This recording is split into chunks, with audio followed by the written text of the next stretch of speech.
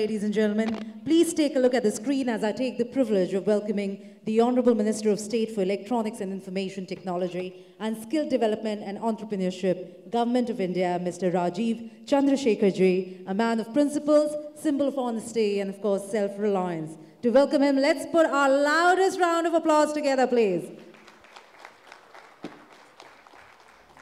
Sir, a very warm welcome to you, and over to you. Thank you, uh, and uh, thank you for that warm welcome. Good evening, all. Uh, thank you, Tanmay Maheshwari for inviting me to speak here today, along with all your colleagues. Uh, from your from your talk, I understand you've had a long day, and so therefore, I don't uh, want to uh, extend that too long. Nor do I want to subject you to any more gyan that I understand you've had to hear the whole day. Uh, but look, I think uh, I, am not sure I'm the best person to speak at a DNPA event, uh, and certainly one where there are so many stalwarts who are in the audience. Um, but I certainly think I, I, can share with you uh, what I see as the future of digital and uh, therefore, um, by extrapolation, the future of digital media. Uh, I will break this up into two short parts. I will speak to you first about how uh, I see the digital ecosystem, digital India in a sense progressing in the coming years and uh, how digital media and digital content uh, fit into that uh, overall framework that we are building and expanding. Uh, as you know, uh, Digital India is a vision of our Honorable Prime Minister. He set out three broad goals in 2015 he wanted uh, digital and technologies to empower our citizens, change our governance, to improve our governance and democracy. He wanted digital to create more opportunities for our youngsters and create more entrepreneurship opportunities and expand the digital economy. And he wanted, through Digital India, for India to be the producer of technology rather than just be a consumer uh, in, in, the, in the years going forward.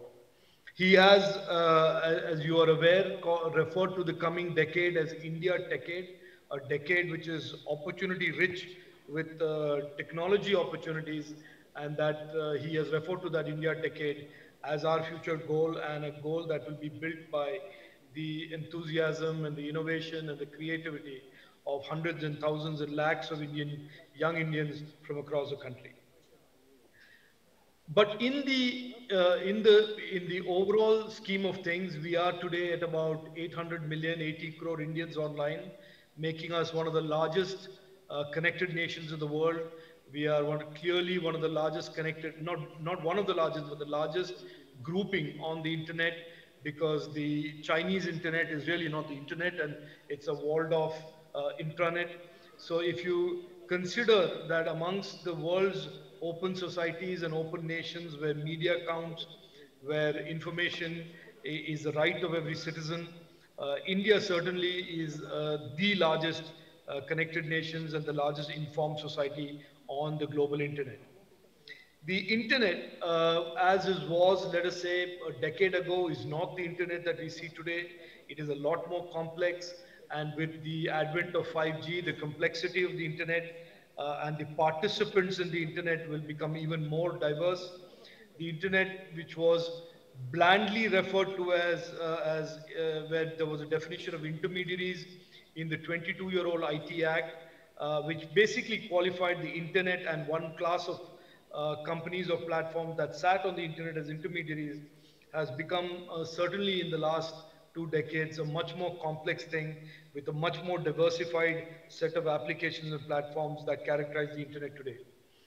Going forward, it is very clear that AI, the Web, Web3, um, and uh, many, many other trends, the sharper, cheaper, smaller devices, the cloudification, the increased uh, rapid acceleration of digitization and cloudification of our digital economy. These are the four or five trends that you can, in a sense, safely assume will drive the future uh, and growth of the internet in India. It's clear also that we have uh, today 80 crore Indians online and uh, very certainly by 25, 26, we will have almost 120 crores or 1.2, 1.3 billions connected to the internet and, uh, and uh, using the internet for a diverse set of services, products, and other, uh, other information that they seek out. Our approach towards uh, building the digital economy to be a trillion dollar digital economy and create a framework of laws which is two pronged. We, we have uh, already put out what we consider as one of the two prongs, which is the Digital Personal Data Protection Bill, which essentially codifies the right to data protection of the individual citizen, and but creates a, a predictable, easy, uh, compliance, unintensive framework for those who innovate on the internet uh, to also continue to do what they do uh, whilst respecting the uh, data protection rights of the individual. So that's one prong. The second very important prong currently is the IT Act, which will be superseded and replaced by a much more contemporary Digital India Act in the coming months. And this two-pronged approach will create the framework uh, that will guide the Indian digital economy and the digital, Indian digital ecosystem uh, and continue its expansion, continue its robust growth, and hopefully in the coming years make us the preeminent nation in all things innovation in the digital space uh, as we are on track to do so. This is broadly what I wanted to tell you in a nutshell about where we are going uh, with our government policies and where we think that the digital ecosystem will end up uh, in the coming years. We are at about 300 billion plus in terms of the digital economy today. It is uh, diversified significantly from 2014, where we relied uh, uh significantly on the IT and ITES uh, pieces of the digital economy. And today we have a very diverse uh, range of slices of the digital economy that are all growing robustly. The IT, ITES piece, the startup and innovation piece, the electronics manufacturing piece, and now to that we are adding the semiconductor design, semiconductor manufacturing, the, uh, the AI, the blockchain, the blockchain and the Web3 piece, high performance computing piece. So we will see that the digital economy as we saw or knew or understood in the pre-2014 days will not be the digital economy going forward uh, in, the, uh, in, the, in the coming years. Let me quickly also touch on my views on this whole issue of uh, digital media and the future of digital media and we have some peripheral interest in, in that uh, because of uh, the fact, uh, fundamental fact that the internet in the early years uh, was always seen as a force for good. Uh, and it was really all about connectivity and connecting people, sharing ideas, connecting communities, connecting people to friends and families. And all of that was really the utopian idea of the internet in the early days of the internet. And that remained true for several decades after the internet was built out. And it is only in the last decade or so that uh, the internet has now begun to represent significant other challenges of uh, openness and market uh, domination or uh, domination by some big platforms. The second is that there is now heightened awareness about user harm and the need for a focus on safety and trust on the internet. And the third aspect uh, that people are beginning to become aware of is that as millions and millions of consumers uh, come onto the internet, use the platforms, consume products and services, that accountability to the little guy, accountability to the consumer is also something that needs to be built and legislated. And, and many of you in the audience will understand this, that for many, many decades, regulation and government lawmaking or government scrutiny or indeed societal scrutiny or oversight about uh, digital platforms lagged innovation because it was seen that these were all innovation platforms and they did not represent any threat. They did not represent any criminal uh, criminality. But today's understanding is that as much as these platforms and platforms represent good and can enable, can empower, they can also be misused. They can also be uh, be forces for harm and uh, and uh, illegality and criminality. So I think these are what shape uh, our discourse on what the future of digital media can be, should be. Digital media is obviously media as we know it has always been viewed by consumers of media as being responsible, being accountable, being transparent, and that is how media was seen for many, many years and decades, and we've had legendary brands that were built around those uh, values of and tenets of uh, trust and credibility. And uh, somewhere along the line, with the digital media and digital brands proliferating, we have seen that those old values of uh, media have been uh, challenged or put to test. And I, in, in the ministry, in our ministry, we have done many experiments. And I want to just share this with you in the audience where we have seen that newer D2C type of uh, media platforms who use misinformation, they use partially true information, create more velocity and much more reach for their content than traditional brands that still do the right thing and uh, do researched uh, content and do content that is absolutely accurate.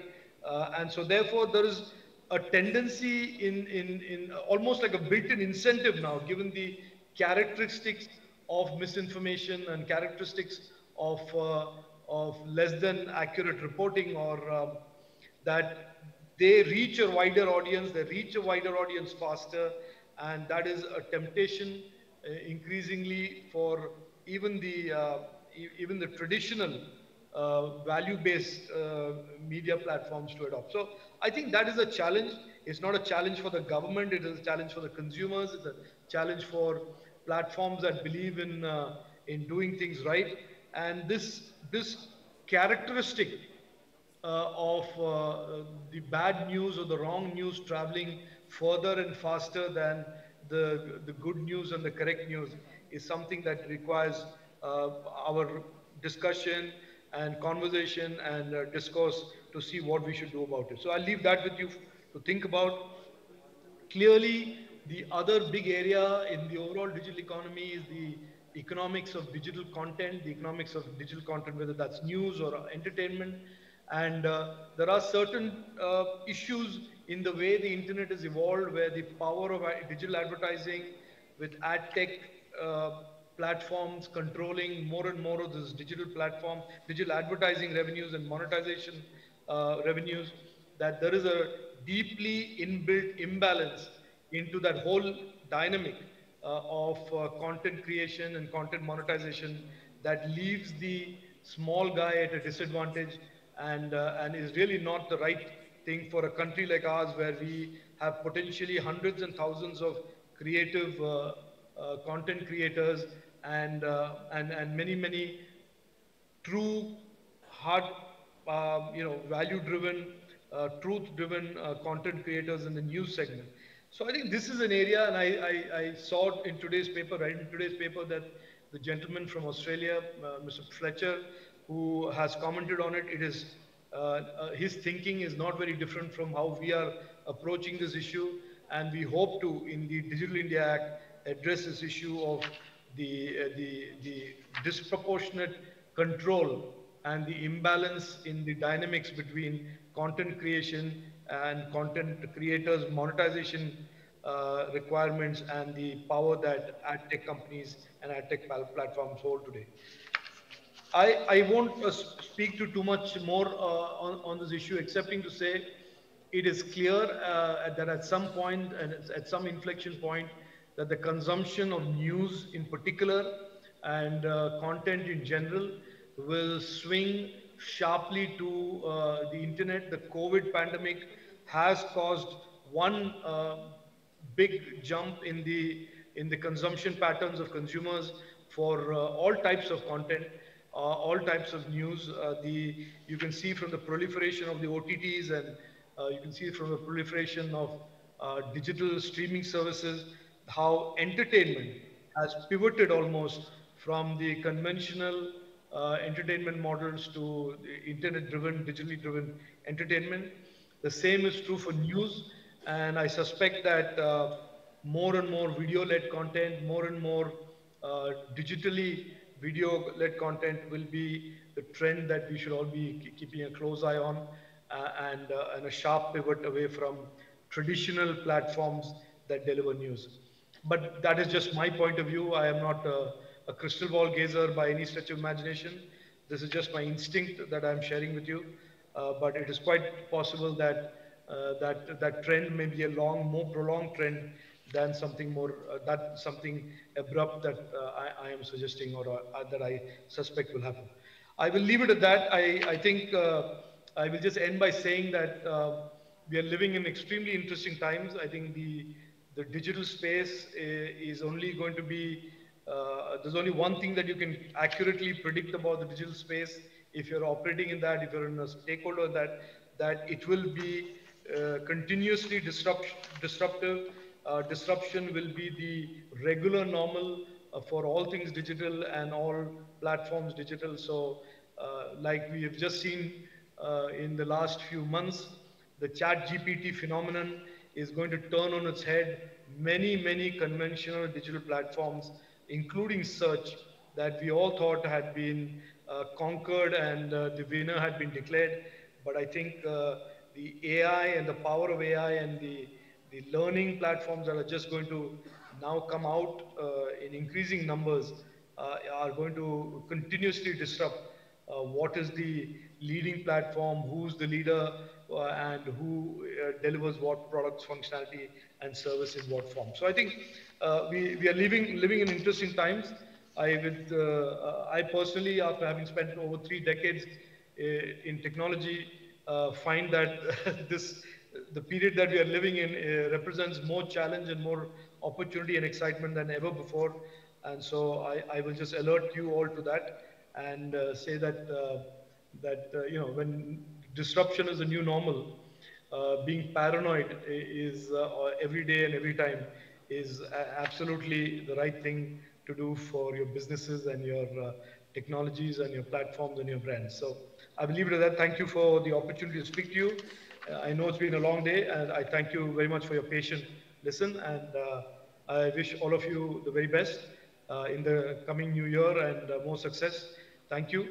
Jai Rajiv ji thanks a lot I think so आपने अपने पंद्रह minute में इस पूरी की पूरी news ecosystem के सारे इश्यूज़, थ्रेट्स अपॉर्चुनिटीज़ सबको आपने काफ़ी अच्छे से रखा right from the menace of the fake news to the monetisation issues which all of us actually face on day to day basis so we are really you know thankful to you for all of this secondly we, all of us, you know, especially, you know, in the organized news media, are really, you know, looking forward to the new bills. And I must, you know, thank you, you know, on behalf of the entire body that, you know, the kind of, you know, initiatives which, you know, the government has taken to, you know, protect the interest of the organized digital media industry is really, you know, appreciated by all of us, and we really look forward to a new ecosystem where we have a much more level playing field